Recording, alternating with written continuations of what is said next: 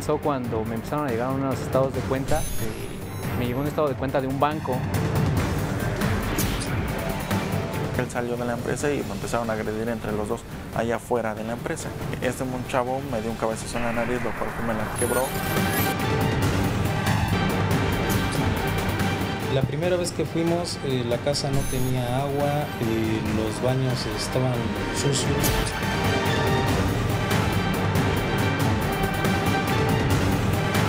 Sirven de nada porque cualquier momento se puede uno recargar y se puede ir de lado.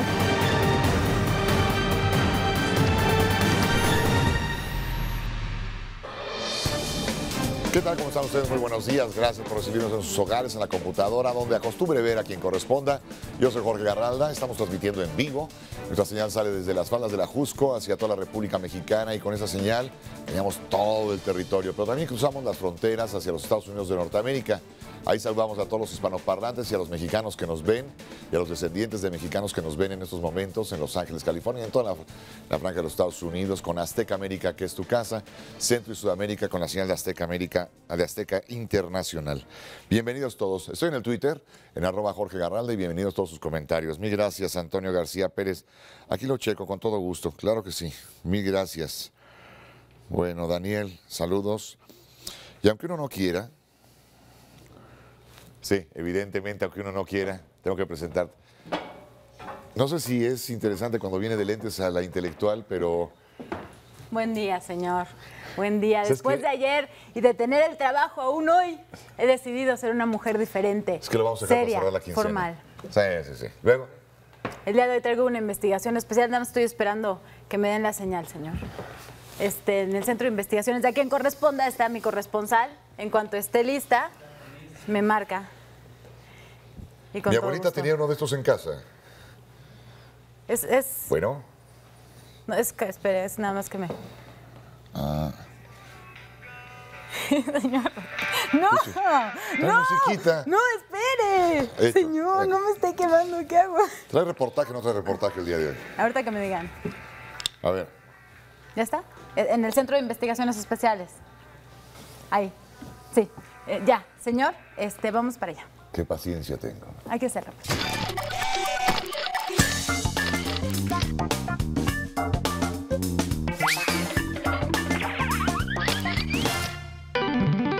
Hipo, tú hipas.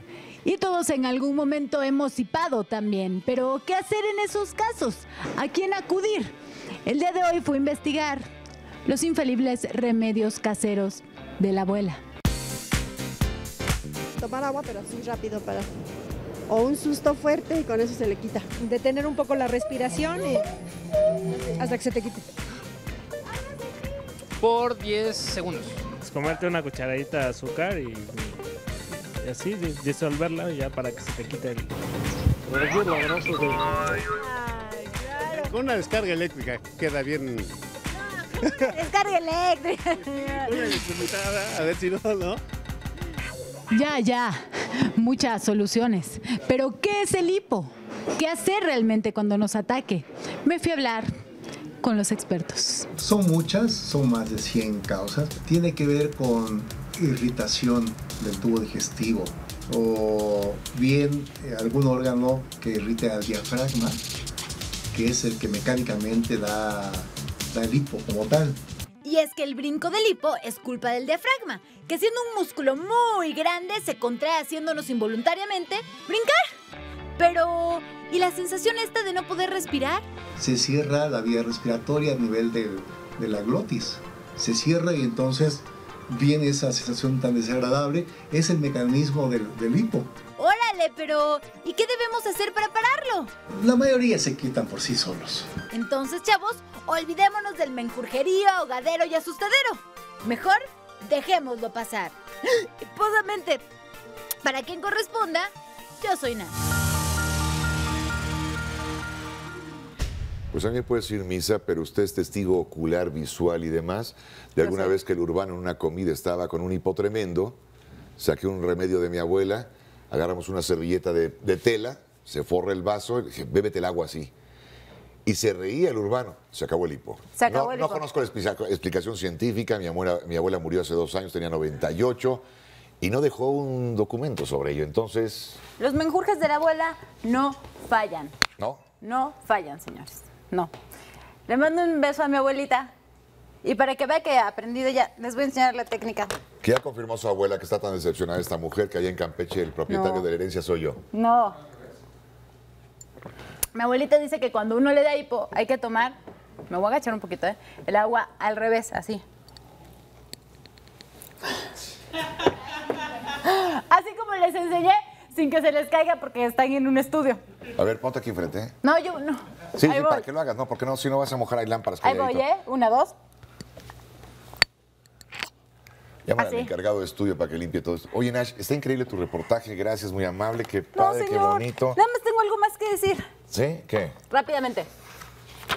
A toda la gente del DF, si no se han puesto las pilas, ya muchachos, ya viernes y sábado es el casting de la isla, por favor, vayan, mayores de 18 años, llevar traje de baño, saber nadar y ser muy felices porque va a estar padrísimo. Y también todavía falta el de Guatemala, Los Ángeles y algunas Cancún y algunas otras ciudades de la República para que vayan. Van a estar en Puebla, en el Centro de Alto Rendimiento Mario Vázquez Raña, que está en el libramiento Tehuacán, sin número, Colonia Maravillas, en Puebla, Puebla. Así es que hoy, hoy, hoy, si tú vives en Puebla, ve al casting de la isla.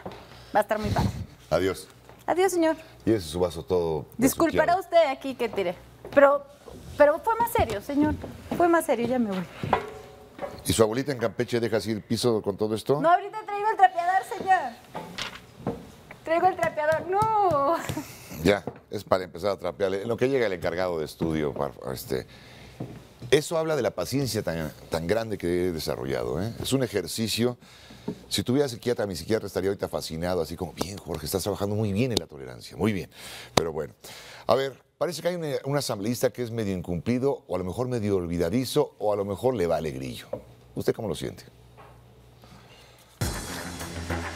Tenía un empleo pesado pero honrado. Trabajaba, dice, prácticamente de domingo a domingo y sin un horario establecido. Era chofer de un asambleísta del Distrito Federal. Me dedicaba a chofer particular del diputado Víctor Gabriel Varela López del PRD. Asegura que trabajó por más de 10 años con él. En un principio dice, lo apoyó, pues lo metió a la nómina de la Asamblea Legislativa, eso sí, como asesor, con un sueldo muy bajo, pero platica que él le daba otra lana de su bolsa. Me pagaba la Cámara 2.300, me pagaba 2.300 quincenales y él me daba el resto que eran este, para completar los 5.000 pesos mensuales. Pero dice que cuando pidió aumento, el legislador se molestó y le pidió a la asamblea que le retiraran el pago. Luego lo corrió, pero asegura que sin su aguinaldo ni su liquidación. La antigüedad de 10 años y mi aguinaldo del 2011. Demandé directamente al diputado como persona física. También demandó al propio Congreso local ante la Junta de Conciliación y Arbitraje. Él solo desea un pago justo para poner un pequeño negocio y olvidarse de la política y de sus actores. Para quien corresponda, reportó Alfonso Vargas Torres. No, pues el asambleísta sí tiene una memoria de chorlito. Se le olvidó que trabajó 10 años para él, se le olvidó la lealtad que tenía, se le olvidó que le estaba pagando un salario miserable por ser asesor. Imagine qué nivel de asesor con dos mil pesos. Y un día amaneció de malas. Pidieron aumento y le cortó la cabeza. Bueno, la cuestión aquí que nos preocupa, como el Tarzán por su cabello largo. A ver, déjame ver la fotografía. A lo mejor se le olvidó este, este cuate. Ahí lo tienes, ¿no? En, el- la asamblea en tribuna lo tienen por ahí. Quiero pensar que, este, que se le olvidó por algún detalle que 10 años trabajó esta persona ahí. No, no, no, no, no. Hay que cambiar el apodo. Tarzán estaba así como cuadradón y todo. No, no, no. Ten nada más el greñas. Pero en fin, qué grave que se le olvide, que se olvide el detalle de pagarle a su gente la lealtad de la gente. Voy a las casetas de atención. Susana Ortega se encuentra por ahí. Susi. Vamos invitados. Ah, tenemos invitados. Vamos primero con los invitados. A ver, vamos con los invitados. Hoy, en nuestra mesa de atención, ¿tiene usted algún problema con la legalización de algunos documentos? Hoy nos acompaña la Dirección Jurídica y de Servicios Legislativos para resolver todas sus dudas sobre este tema. Solo comuníquese a la línea AQC 5166 2313. Y lo que va a platicar ahora le va a interesar muchísimo. Bienvenida, mi gracias, a licenciada Claudia Luengas Escudero. Ella es la directora general jurídica de y de estudios legislativos de la Consejería Jurídica y de Servicios Legales del Gobierno del Distrito Federal. A tus órdenes. Mi gracias, Claudia. Si yo voy caminando por, este, por la calle y veo todo el letrero así, ¿y aquí qué hacen, no? Eh. Eso sería como bonito Sí. título, porque ocupar media cuadra si lo ponemos Sí, así. sí. Pero, ¿qué pasa aquí? Mira, la Dirección General Jurídica y de Estudios Legislativos es el área de asesoría jurídica por excelencia del gobierno de la ciudad. Tenemos un trabajo muy intenso de apoyo jurídico a todas las áreas del gobierno, pero también tenemos muchas áreas de atención al público.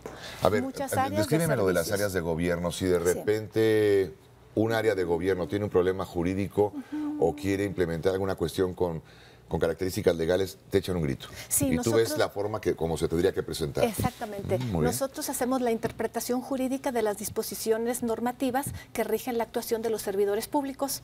Este, revisamos los contratos, este, acuerdos, decretos que van a ser firmados por el jefe de gobierno. Este, el aspecto técnico jurídico es revisado en esta área. Entonces, antes de que firme el jefe de gobierno y con quien esté, de sus secretarios y todo, pasó por tu oficina.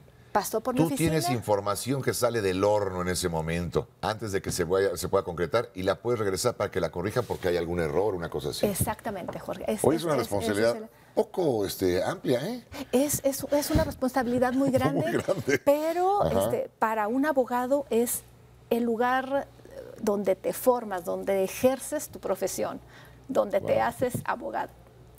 Pero también tenemos muchos servicios al público. Atendemos una amplia gama de servicios que Eso interesan decir, a la ciudadanía. Ya entendí que también. para el gobierno del Distrito Federal tú eres como llave maestra para poder cambiar una, una cuestión y darle la forma legal. Pero ¿y a mi usuario? Yo que vivo aquí en el distrito, ¿qué, este, ¿qué tengo que ver con tu oficina? Mira, la Dirección General Jurídica tiene dos direcciones. Este, en ellas se ven diferentes aspectos que tocan a los ciudadanos.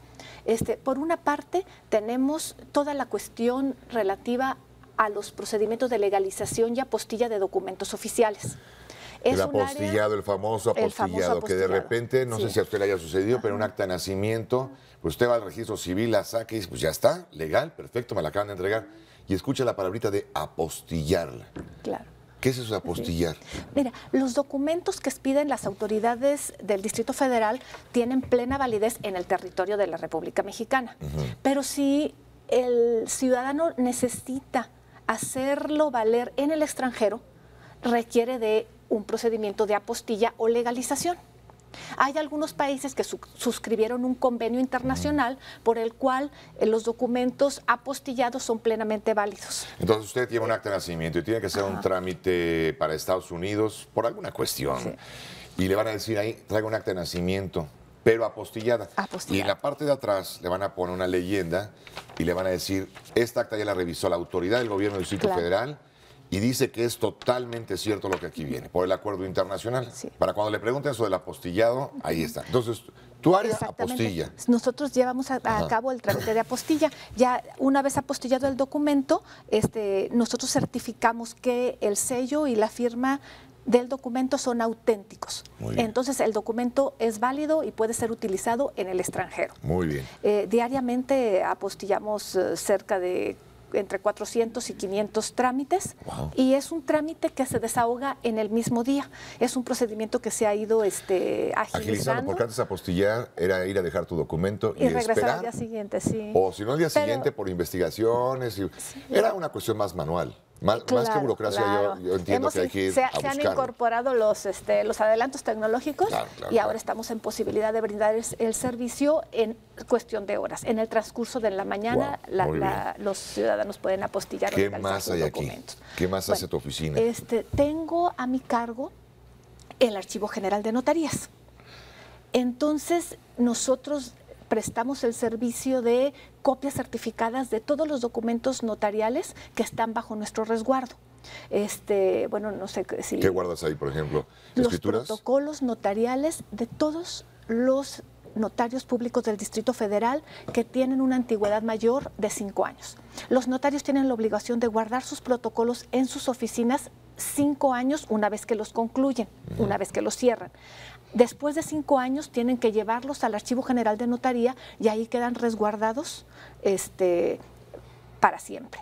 Entonces, si un ciudadano necesita una copia certificada de cualquier instrumento que otorgó ante un notario público cuya antigüedad sea mayor de cinco años, tiene que Ya acudir al tú. archivo Ahora, y nosotros pedimos las copias. un título de propiedad, un testamento, una sociedad mercantil, Un una- poder, una fe de hechos, cualquier escritura que se haya otorgado ante un notario, una voluntad anticipada. Wow, muy bien, muy Nosotros- bien, muy bien. Registramos las sociedades de convivencia y damos los informes en relación con las sociedades de convivencia y con este, las tutelas también. Muy bien. Entonces, este, bueno, es, es este, Elaboración de los decretos expro- expropiatorios de inmuebles. Wow, más de 100 mil trámites relacionados al Archivo General de Notarías.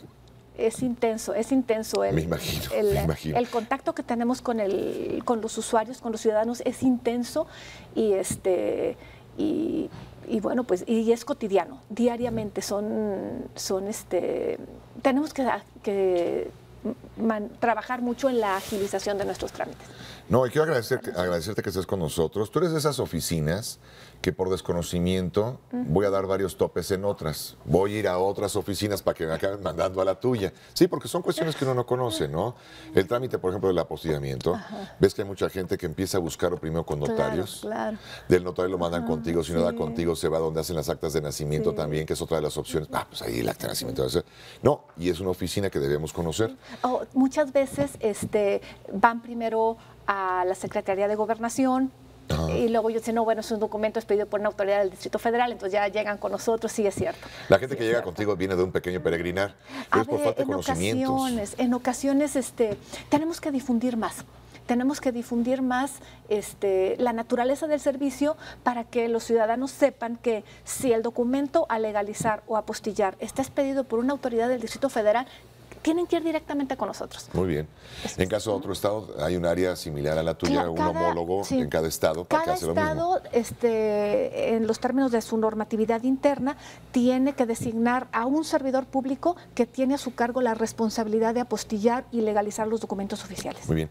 Oye, Claudia, quisiera pedirte, yo sé que parte ya de tu equipo está ahí arriba, pero hoy, Claro. hoy es un día de lujo, pues va a estar este, invitada a la directora a que también ella esté en los teléfonos para que usted pueda hablar directamente con ella sobre las dudas de lo que acabamos de platicar ahora. Tu gente ya la ve muy activa, ya están en este teléfono. Muy Sí. bien. A la licenciada Claudia Luengas Escudero, te invito a la directora general jurídica y de estudios legislativos de la Consejería Jurídica y de Servicios Legales de Gobierno Distrito Federal para que hoy, hoy este, nos brindes atención telefónica hacia la gente, que abramos este vínculo permanentemente para que después venga tu equipo y dé la orientación a quien así lo requiera. A tus órdenes. Y me voy a comprometer con algo, vamos a poner a Samia a trabajar porque nunca hace nada. Voy a pedirle a Samia, vamos a mandar para que la gente entienda qué es apostillar, porque hoy seguramente mucha gente dijo, ¿y eso con qué se come? Lo de los archivos, describirle a la gente muy didáctico para que entiendan cuál es la función de cada oficina. Por supuesto, señor, lo hacemos. encargo? Ahorita mismo me pongo de acuerdo con Muy él. bien. Gracias. Yo voy a realizar una pequeñísima pausa agradeciéndote, invitando a que, No, este, que hoy atiendas al público. Muchas gracias. Hoy estés en atención directamente con ellos, con tu equipo, y pues para que abramos la puerta permanentemente. No tienes idea, si tú me aceptas, que te dé mucha guerra. Sí. Estoy a tus órdenes y No sabes lo que acabas de decir, Claudia. No tienes idea la guerra que te voy a dar, pero va a ser muy bueno. No, ¿eh? es- son trámites muy importantes. No, yo lo y sé. Si logramos este, que la gente conozca los requisitos, lo que tiene que llevar, nos vamos a evitar el peregrinaje del que estabas hablando. A ver, aquí sí quisiera, aguántame un segundito, Oscar, aquí sí quisiera llamarle la atención a nuestras autoridades. Dan por hecho que quien nace ya sabe todo lo que hay que hacer. Al principio, cuando nació el primer trámite en México de apostillamiento, a todo el mundo nos avisaron y le avisaron a todo el mundo cómo era lo del apostillar, de qué se trataba. Cuando nació el Infonavit, a todo el mundo le explicaban por qué le iban a quitar dinero de su quincena. Cuando la gente ahora llega, todo el mundo da por hecho que ya todo el mundo lo sabe. Exacto. Hay que seguir reforzando qué hace cada una de las áreas y para qué son los servicios, porque topamos a veces en las casetas de atención con preguntas tan elementales y ves a la gente de veintitantos años, pues nadie les explicó. Exacto. Y vienen por un trámite que verdaderamente es una, una bobada de trámite y ahí andan por todos lados y no hay quien les explique. Tienes Y- toda la razón. Y también, lo- bueno, los trámites que hacemos en mi dirección son trámites jurídicos. Se refieren a la seguridad jurídica de los ciudadanos. Claro. Hay requisitos. Y es, es bueno que existan los requisitos porque se refieren a la propiedad, se refieren a la legalidad de los documentos que van a usar en el extranjero, se refieren a la regularización de fosas en panteones públicos, que ese es otro de los servicios que prestamos, no se puede hacer a la ligera. Claro. Si queremos que nuestros documentos efectivamente garanticen la seguridad jurídica de los ciudadanos, bueno, tenemos que tener un respaldo y los ciudadanos nos tienen que proporcionar la documentación que necesitamos para que el título que les pidamos sea válido, legal y firme. Pues ahí Entonces, está. este, La oportunidad de que ponga en orden su vida y que conozcamos mucho más. Nos comprometemos nosotros como espacio a abrir huecos de información para traducirle a la gente así muy, muy claro qué es cada uno de estos trámites, porque al final de cuentas todos un día los necesitamos. Como dice Jorge Garralda, no se deje. A ver, José Luis, me dices que eres de Teciutlán y no entra la llamada. A ver, pónmelo este, con la larga distancia, cómo se marcaría en pantalla, por favor, si es tan amable. C155 tendríamos que marcarle, ¿no? Para que entre 0155. Ahí está, 5166-2313. Sí, sería así. Le avisas que es una larga distancia, pues viene este, la clave del Distrito Federal y ya entra con eso. Yo te aconsejo, si te parece bien, mira, aquí está, ahí sí sería 015, 0155 5166 2313 y te aconsejaría, si tú deseas, para que no tengas costo alguno, a través de un sistema de comunicación electrónico, correo electrónico, este, el Facebook tiene más espacio, o el Twitter que es muy, muy cortito, tenemos que mandar de 144 en 144 letritas, pero bueno. Vamos hasta Coyoacán y nos dice que tenía una fuente de empleo, pero un día se la arrebataron. Un día normal de trabajo se tornó en toda una pesadilla. El 7 de febrero del presente año, una mujer que se presentó como Yasmín Trejo solicitó los servicios de transporte de a quien por seguridad nombraremos Juan. solicitarme un viaje a Peña de Bernal.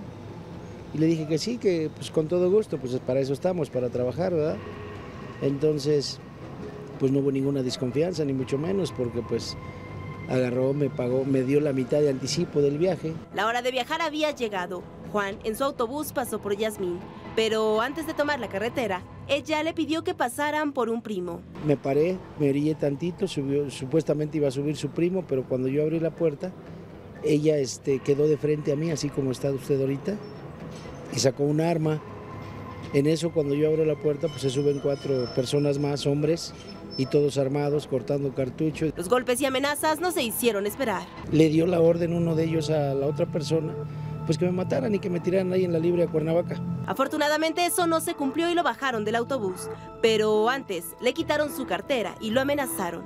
Si él decía algo, lo desaparecerían. Este tipo de personas pues no tienen escrúpulos o no sé cómo pueda nombrarlo, porque en cinco minutos le cambian a uno la vida, ¿no? Y me he sentido, pues imagínese, pues era mi fuente de trabajo. Hoy él teme por su vida, pero tiene la esperanza de recuperar su fuente de trabajo. Y aunque las autoridades ya están tras la pista de los delincuentes, quizá usted reconozca este autobús y pueda ayudar a resolver este caso. Con las imágenes de Felipe Mimbrera, Amanda Lanís, a quien corresponda. Cuando se pierde un bocho, pues, para la gente que nos ve en otras latitudes, un Volkswagen Sedan, el clásico, el escarabajo, eh, se los llegan a robar y algún día hacían una excavación en el Ajusco y encontraban el chasis, ya lo habían encuadrado completito. Y dije, ah, pues, ¿por qué chiquitos desaparecen? Pero desaparece un autobús de 40 pasajeros, son ganas de no encontrarlo. Alguien ya lo trae pintado en otro color, alguien lo trae comercializado. Si lo pasaron hacia Guatemala, Estados Unidos lo van a recibir, pero hacia Centro, Centro y Sudamérica, si lo pasaron para allá, pues sí se nota que está pasando un autobús y te piden papelería, ¿no? Ah, no, que ahí no revisan nada, ¿verdad? Pero bueno, está bien. A ver, Susana Ortega, ¿Qué tal, Jorge? Muy buenos días, saludándote con mucho gusto desde de igualmente, Susi. ¿qué pasó? Hoy más tranquilo el clima, ¿no? Ay, no hace mucho frío. La verdad sí se siente Es por tu avanzada edad, mi niña. Ya estoy, ya estoy, ya. Ya estamos adultos. A ver, ¿a dos qué? Adultos. Muy bien, adulta. A ver, vamos contigo. Jorge, el día de hoy nos acompaña Carla Mónica Rivas Aguilar, ella nos visita de Torreón, Coahuila, y bueno, nos comenta que su historia eh, inició en el 2005 aproximadamente, ¿cuándo? ¿2008? ¿Me equivoqué? No, lo- eh, viví en un libre y el, el juicio es para solicitar una pensión alimenticia en el, en el extranjero. ¿Tú tenías una pareja, cómo se llama? Sí, Óscar Alejandro Chan. Todavía sigo casada con él, estoy en un juicio de divorcio. Y me comentas que por cuestiones de trabajo de él te fuiste a vivir a Nos Chile. trasladamos a Chile, a Santiago. Producto de esa relación, ¿tuviste una pequeñita? Tengo una niña donde solicito la pensión alimenticia, tengo los exhortos de Torreón, donde solicito la... Pero no tengo los recursos para poder eh, mandar los papeles a Chile.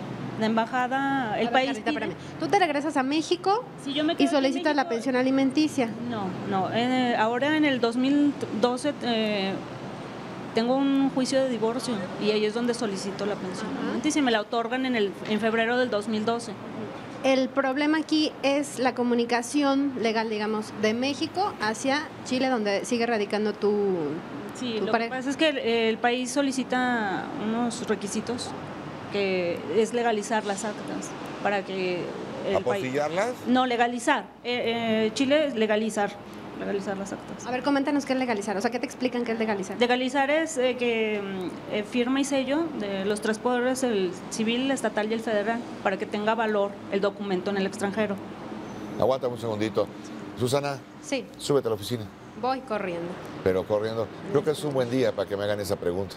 ¿Eh? Sí. Muy bien. La- tu hija está contigo, ¿entiendo? Sí, eh, ella se quedó en Torreón con mi hermana. Ah, ok. Muy bien. Pero tú ya la tienes. Sí, sí, yo la he tenido siempre. Muy bien, que eso es un paso perfecto. Lo de la pensión es una bronca internacional y lo de los Sí. papeles que están. Yo creo que, mira, aunque no. ¿Tú eres de Torreón? ¿Naciste en Torreón? Sí, yo soy de Torreón. Bueno, te van a dar una explicación ahora para que hagas el mismo trámite en Torreón y nos ahorremos broncas. Pero súbete a la oficina porque yo estoy seguro que tenemos a alguien ahí que debe tener idea más o menos de, de qué se trata esto. ¿Eh? Sí. Va a estar muy bien. Pásate, Susi. Vamos para allá, Jorge, gracias. Porque eso es caer en blandito. No va a ser aquí en el DF, pero como son cuestiones similares, nada más cómo lo vamos a mover. ¿Cómo está mi reina? Bienvenida. Que vamos a inaugurar la casa, ¿no? Tenemos la, la cuenta partida a la mitad. La otra parte paga la mitad de la inauguración y ustedes pagan la otra. Está padrísimo, pero es un broncón. Veamos esto. Asegura haber cumplido con todos los requisitos para liquidar su departamento en tiempo y forma. Sin embargo, en registros, dicho inmueble pertenece a su vecino. Voy y pago mis escrituras, me mandan a, a sacar mi folio en el registro público de la propiedad y me encuentro que mi folio está a nombre de mi vecino Gerardo Ramos. Un aparente error que no haya dónde ni quien lo corrija. Cuando uno acaba de pagar la casa, quiere inaugurarla. ¿No? Fiestón, cómprese un par de botellas de champaña, vamos a brindar, invítense a los vecinos. Pues no sé de qué se queja, Rosy. Su, su vecino paga la mitad y usted paga la otra. Ah, ¿No está bien? Por la que Pues la casa quedó a nombre de él, usted la pagó, pero quedó a nombre de él. a nombre de él. Y luego, Sí, pues voy a solicitar el folio real y me dicen que, que está a nombre de mi vecino. Solicito la rectificación de errores y repo- reposición ah, este, registra- registral y me dicen que tengo que llevar el oficio de origen. Voy, para esto ya no es Fibideso, ya se convirtió en Fidere. Voy a Fidere, me atiende el licenciado Jesús Lozada y me dice que si yo estoy dispuesta a, pagar el, este, el- que si yo asumo el gasto para la obtención de la escritura del régimen en condominio. Le digo que sí, me manda al archivo que está en el Metro Candelaria y ahí me dicen que a mí no me lo pueden dar, que Fidere es quien tiene que solicitarlo. Vuelvo a ir a Fidere, Fidere este, ya va a cambiar. ¿pero para qué va a cambiar eso? ¿Para qué la cuestión condominal? ¿Para qué? Yo lo que no entiendo aquí, ¿su casa está a nombre de usted? De mi esposo. De su esposo, ¿cómo Sí. se llama? Román Chávez Román, López. tiene que salir a nombre de Román. Sí. Su ¿Y la de su vecino? ¿Él tiene dos casas ya? ¿Le escrituran dos? ¿O a él le dieron el nombre de otro? No, su, su, este, a él, este, su folio real aparece como su casa hipotecada Banobras. Y la de usted ya está pagada y todo. Y aparecen las escrituras a nombre. ¿Es un error de oficina de los que hicieron las escrituras? ¿Usted le hizo en algún paquete de esos de masivos de escrituras? ¿En alguna oportunidad de hacerlo sin costo o algo así? ¿Le No, hicieron trámite no. na- Sí. notario, normalísimo? Sí, sí, pagué mis escrituras y este, cuando solicito en Fibideso me dicen que ya van a cambiar, que es Fidere y ya Fidere ya me hace todo esto y hasta ahorita nadie me ha hecho caso, he ido a jornadas notariales, me dicen, este, esto no, no nos corresponde, fui otra vez a jornada notarial pero al colegio de notarios, me dicen, ¿sabe qué? Definitivamente este, contrate a un licenciado particular. Voy con una licenciada y me cobra 15 mil pesos. por arreglar serio? mi asunto y pues todo está en el foro. Deberíamos haber puesto un bufete desde hace mucho tiempo, muchachos. No sé qué estamos haciendo así. Ya nos hemos retirado todos. Oye, Samia, Muy buenos días. ¿cómo estás? ¿En qué notaría se lo hicieron, Reina? ¿En qué notaría lo hizo? No, todo, No, todo. cuando hizo su trámite de escrituración, ¿dónde- ¿en qué notaría lo hizo? Ah, lo pagué en Fibidesu, pagué mis escrituras. Oye, Samia, Sí, señor. este, ¿por qué no le echas un grito al Instituto, este, al director general del Instituto de Vivienda del Gobierno del Instituto Federal y Raimundo Collins Flores? Por supuesto. Este, mi, mi- mi posición como ciudadano y en este foro abierto, y también al jefe de gobierno del Distrito Federal, la señora no dictó mal el nombre. El error es de ellos. Lo mandaron mal. Y ahora tiene un costo que ella tiene que asumir de un error de alguien que no puso atención al hacer su chamba. ¿Cómo No, no, se me hace bien injusto esto. Por supuesto, claro que sí, le ayudamos con mucho gusto. Nos comunicamos Y- ahorita. pero habla a la cabeza, no hables a los pies, porque los pies Sí. apestan. Por eso está Huelen así. Claro que sí, señor, en un momentito, por supuesto. Yo creo que no está tan grave la bronca. ¿Cuánto tiempo llevas con esto? 13 años. ¿Cómo llegas hasta ahorita? Rosy, no me hagas esto. Le digo algo, Dígame, yo le doy las gracias, Jorge, porque en tu programa fue las únicas personas que me estiraron la mano para leer mi expediente. De ahí nada, Nadie por te nada, fumó. nada, nunca. Ay, reina. Y desde hace 13 años pagué mis escrituras. Ahorita no sé Un en cuánto día van me a voy a salir. ir a este. Voy a buscar ser jefe de gobierno yo. El secreto está en escuchar a la gente. Esto es un trámite que alguien metió la pata al meter el trámite, no metió bien el nombre y es responsabilidad de su área. Si ese señor ya se jubiló, lo corrieron por bruto o dejó de ser apadrinado por algún eh, delegado, algún- lo que fuera, ya se fue, ya a lo mejor es decisión de él. Ahora, esa es oficina la que metió la pata, es la que tiene que dar una solución. Yo no lo veo tan complicado. Déjame hablar más arriba, vamos a hablar con cabezas, no con pies, porque a ti te atendieron los pies y por eso huelen feo. Voy a, este, voy a hacer una pequeña pausa. Seguimos, seguimos. Tenemos una llamada, señor. ¿Tengo llamada? Sí, del licenciado ¿De quién? José Gómez. Director General del Registro Público de la Propiedad de Comercio y Distrito Federal, don José Gómez. Aguanta un segundito. Bueno. ¿cómo estamos? Muy buenos días. Se escucha muy mal la voz, pero te entiendo. Gusto en saludarte. ¿Qué tal? Al director general del Registro Público de la Propiedad y del Comercio y Distrito Federal. Oye, ¿te acuerdas que me dijiste que te podía tomar la mano? Claro que sí. Te voy a dar guerra con un caso. Y Mira, tiene 13 años de antigüedad la bronca. Se podría entregar unas escrituras a nombre de otra persona. Yo creo que son paquetes que entre el Fibides o esto, paquetes si se recorrió el nombre y alguien tiene mal, tiene el nombre de su vecino en sus escrituras. ¿Se puede arreglar esto? Sí, por supuesto. Tenemos que analizar muy bien el asunto y con mucho gusto podemos dar la asesoría. Te puedo enviar a, esta mujer, a Rosy, porque además después de 13 años ahora le dicen que tiene que hacer no sé qué cambios que nadie puede explicarle y que le mete un billete a un abogado privado y que, no, ¿qué es No, esto? bueno, eh, eh, sí, el tema es complicado de primera, de primera vista, pero yo creo que tenemos la forma de darle una solución. hecho. Y además, ella no fue la culpable, ¿no? Fue alguien que sin querer leyó otro nombre Claro. y lo anotó. Es muy común ese tipo de problemas, pero seguramente tenemos forma de ayudarle. Ahí está. Bueno, este, te lo agradezco mucho, te mando un abrazo. Igualmente, Jorge, que muy bien. Gracias, muy amable. Gracias al licenciado José Gómez González, director de- general del Registro Público de la Propiedad y de Comercio y Distrito Federal. No me digas eso, gracias. Es que este cuate sí quiere trabajar. Y cometió aquí un grave error estando en el estudio. Cuenta con todo el apoyo, lo que necesites, y pues estamos tomando la palabra. Gracias, Samia, por el enlace. Te lo agradezco mucho. ¿Te parece bien? Sí, Jorge. Oye, Torín, hay que ver este, cómo la reciben, qué orientación y acabar ya el trámite. 13 años llevas en el trámite. Eso se llama simplificación administrativa. No es cierto, es sarcasmo. Como dice mi amigo Garralda, no se deje. Fernando Armenta es ingeniero. Siempre ha tenido todas sus cuentas y documentos en regla, pues no le gustan los problemas. Hoy vive uno que le quita el sueño. Todo comenzó cuando me empezaron a llegar unos estados de cuenta. De, me llegó un estado de cuenta de un banco, el cual eh, a mí me causó extrañeza porque yo no había solicitado nada en, en dicha institución.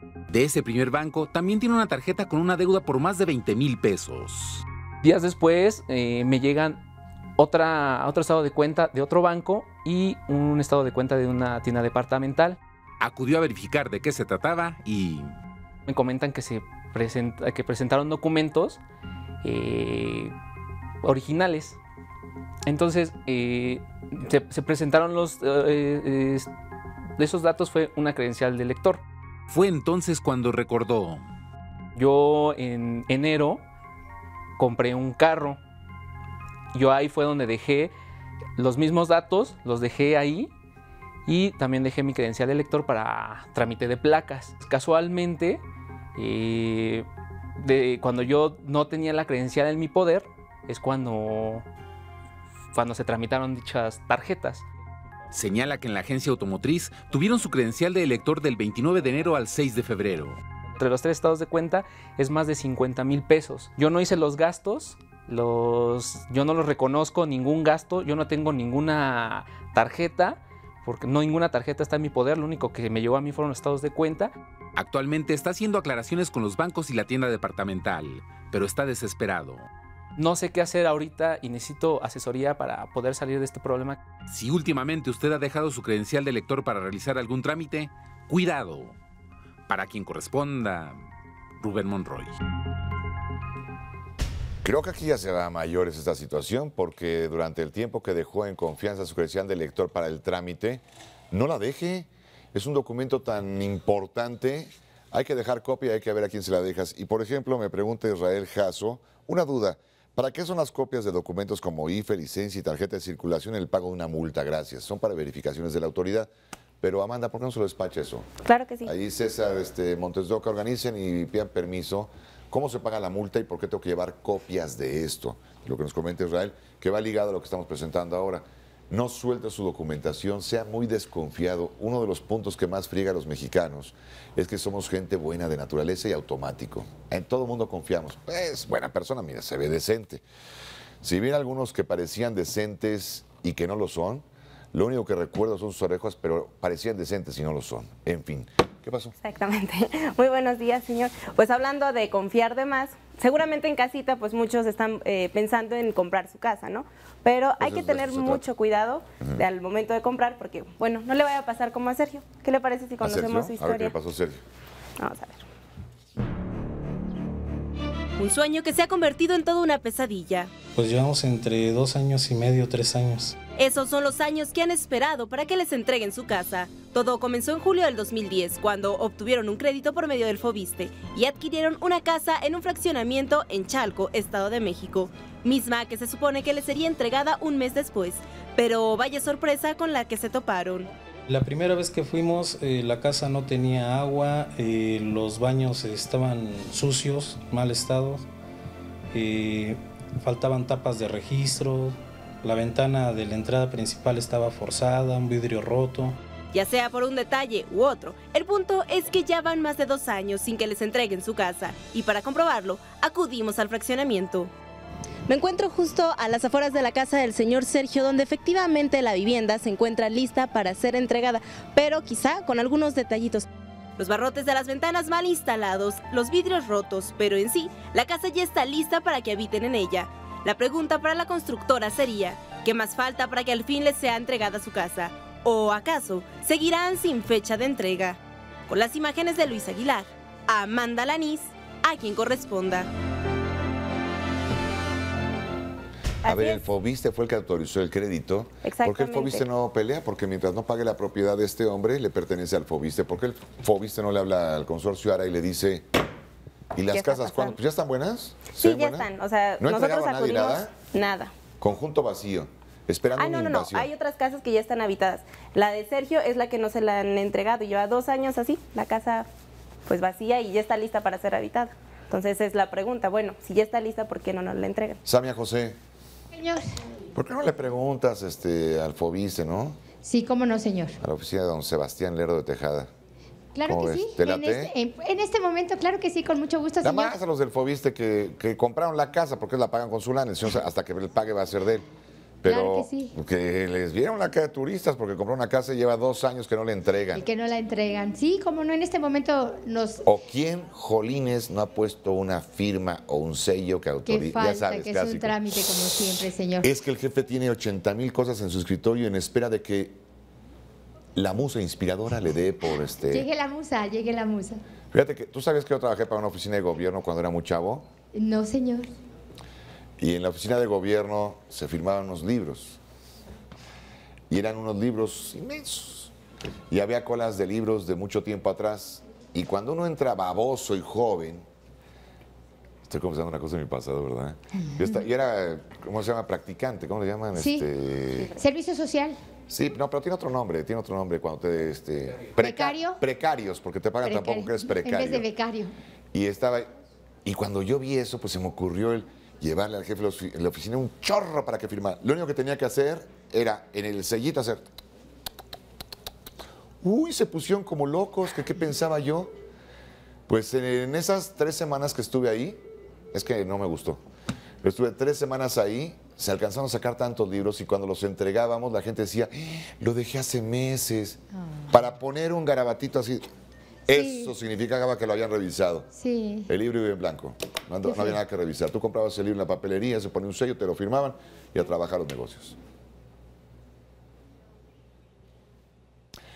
Son cosas de mi pasado Son- que no pero- quiero pero recordar. qué y todo era una firmita. Y claro, Digo, sí, pero Por si la apresuran. en ti existía la actitud de sacar todo pronto y la demás. No, No, es pues ya, otra por eso no mentalidad. trabajé más que tres semanas ahí. Es otra mentalidad. Nada más comentarte que a la señora, el director del registro público de la propiedad, mañana a la una y media Bien. la recibe y la señora de la entrevista en casetas, la licenciada Ya Claudia, ya, la asesoró, por supuesto. Pues claro, hoy, hoy cayó en, bla- en blandito, ¿eh? Sí, Eso es un sí, buen sí. día para venir a quien. Así es, Pórtate señor. bien, Amandita. Gracias. Te, Muchas encargo gracias. de qué hacen con mi papel y para qué quieren tanto dato. Sí, claro, Que nos expliquen, porque con notas como lo que presento ahora, ¿no? claro. Bueno, Que sepan qué pasa. vamos a hablar de aquellos que nos hacen la alegría del hogar. Y no me refiero a sus hijos latosos, no, no, no. Vamos con patitas.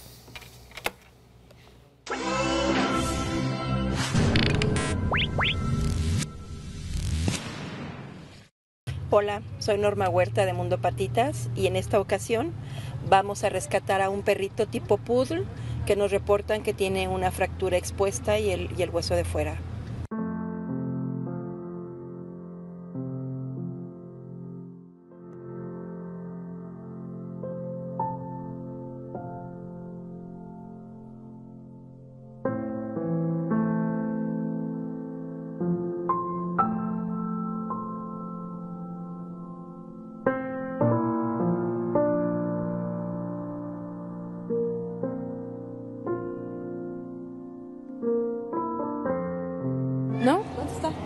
Según ella dice que ya está. Señora, ¿ahí está? Ah, buenas tardes. Este, lo que pasa que tengo un negocio aquí a la vuelta y dejo mi carro aquí estacionado. Y cada vez que traigo el carro, pues he visto al perrito. De hecho, yo, yo este, tenía la intención de llevármelo y que le dieran la atención médica. Porque sí es muy triste ver así un animalito. Norma, ¿podemos saber qué es lo que tiene el perrito? No sé, es una lesión que a lo mejor de un atropellamiento, de un golpe o algún perro que lo haya lastimado. Está muy, está muy impresionante. Primero lo atropelló el del agua y luego lo atropelló un muchacho. Pero él sí dijo que él sí lo llevaba, que él sí lo llevaba, pero pues como lo ven así. ¿Qué vas a hacer cuando veas otro perrito? ¿Qué vas a hacer cuando veas otro perrito lastimado? La casualidad es manda- es llama- llama- mandar a llamar a ustedes. Ahorita lo que procede es adormecerlo para raparlo y valorar. Se, va a sacar una radiografía. Eh, si no hay una fractura, se empieza a dar un antibiótico especial que le va a impedir que la infección o le va a corregir la infección en el hueso. Si después de un tiempo no vemos avance, se va a tener que amputar. Ojalá. Y son perros que mientras son cachorros, todo mundo los ama. No hay quien no ame un cachorrito, pero una vez que el cachorrito crece, ahí están viendo cómo se deshacen de él. Es una gran responsabilidad tener perros, gatos y cualquier tipo de mascota autorizada. Una gran responsabilidad. Pero cuando dejan de ser cachorros, busca el otro encanto, ¿eh? Porque los cachorritos, ¿a poco no? Así sean de Rottweiler, que después te pueden comer vivo, ¿eh? pero bueno. Ay, qué lindo, y todo el mundo se quiere llevar cinco a su casa. En cuanto crecen y empiezan a, costar comida, veterinario, baño y atención, ya andan inventando cómo me deshago de esta cochinada de perro. Creo que se me hace más humano y más de gente decente el que usted nunca tenga perro si no tiene el carácter y el temple para atenderlo y cuidarlo. Que nunca tenga gato si no tiene el cariño para brindarle uno- un animal como este. No se haga de mascotas que va a maltratar y a darles una vida de perros. Migas a los chavos de Irreverente B, es una responsabilidad social muy importante y ya ve que ahora alguien que maltrata a los animales pueden andarle dando unas horas de, de tambo, de prisión. Ahí está la dirección de los chavos de Irreverente B. Irreverente B es lo que ven sus hijos cuando están en la computadora, cuando se ponen ahí a sorprender, porque aprendemos mucho con Irreverente B, y también cuando se ríen, porque hay algo simpático que han preparado los chavos. Nos damos mil gracias. ¿Quién? Ana María, por favor, esos ojazos lindos. Ana María Lomelí, ¿cómo estás? Muy bien, mi Jorge, ¿cómo estás tú? Muy buenos días. Muy buenos días, mi niña. Pues ya listo para pasar el de estafeta y que la gente siga con nosotros aquí con toda la barra de las mañanas del 7. Ahora, ahora sí que tú sí Chávez. Yo, ¿ahora qué? Ahora sí que tú sí Chávez. Chávez es el que se murió ayer, pero que lleva No, yo me refiero a que Chávez o no Chávez, tú sí Ah, sabes. No, no, no, Chávez el que andaba, no andaba muerto, que ya se había muerto, que algo así decían, ¿no? Claro que de eso hablaremos Que también. lo llevaban en hielera desde Cuba. Escuché ayer este, alguien que decía para que muriera otra vez en Venezuela. Al rato verá, Son veremos una película de de, eso, este ¿verdad? tema. Y más, yo creo. soltarla. Pórtate bien, bueno, siga con los amigos gracias. de Hola México, tienen investigaciones importantes y mucho que compartir con ustedes. Yo soy Jorge Garralda y un consejo, ¿sabe qué? No se dejen.